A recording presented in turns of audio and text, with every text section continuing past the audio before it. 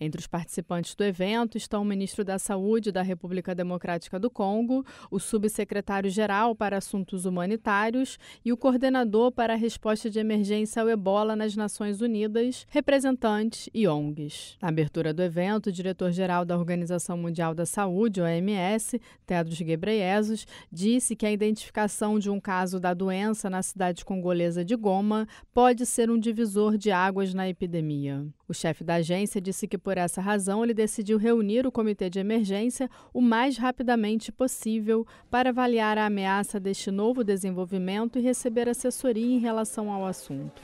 A cidade de Goma é um importante corredor de trânsito onde vivem mais de 2 milhões de pessoas. Da ONU News em Nova York, Ana Paula Loureiro.